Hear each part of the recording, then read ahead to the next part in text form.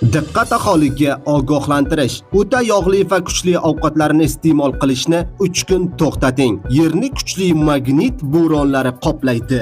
Tezkor xabarlardan birinchilardan bo'lib xabardor bo'lish uchun video ostiga like tugmachasini bosib qo'yishni unutmang. Like bosgan insonni Xudoyim doim qo'llasin.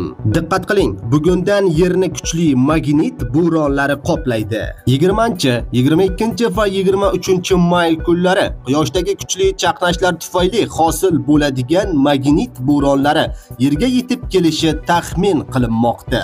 Magnit bo'roni tufayli surunkali kasalliklari bor odamlarda bosh og'rishi, ko'ngil aynishi, bo'g'imlarda og'riq va uyqusizlik bo'lishi mumkin deyiladi ma'lumotda.